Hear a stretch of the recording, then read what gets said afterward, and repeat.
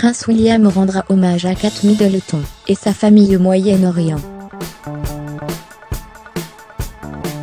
Le prince William sera bientôt en visite officielle au Moyen-Orient. Si Middleton ne sera pas à ses côtés, il pourra cependant lui rendre hommage dans un lieu très spécial.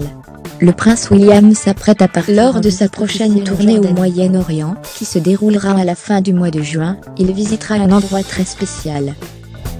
Le duc de Cambridge se rendra sur le site archéologique de Jerash, une ville romaine du 1er siècle, qui est l'un des plus grands vestiges romains de toute la région méditerranéenne et l'une des plus grandes Mais ce n'est pas seulement pour cela que le site est spectaculaire, il a une signification particulière pour le prince William, virgule, qui révélait en effet. sa femme, Kate Middleton, était déjà venue à Jerash, lorsqu'elle était petite, et avait posé pour une photo de famille avec son père Michael, et sa sœur Pippa. Il vivait en Jordanie pendant son enfance.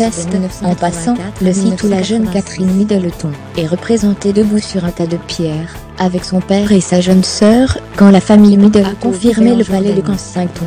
Ce voyage permettra au prince William de rendre hommage à Kate Middleton. Il se rendra également sur les en effet, il se passera par Jérusalem, pour voir la tombe de son arrière-grand-mère, la princesse Alice. La mère du prince Philippe, son Altesse royale se rendra à une courte distance de l'église Sainte-Marie-Madeleine, où il rendra hommage à la tombe de son arrière-grand-mère, la princesse Alice. Le duc peut en lire dans la déclaration officielle.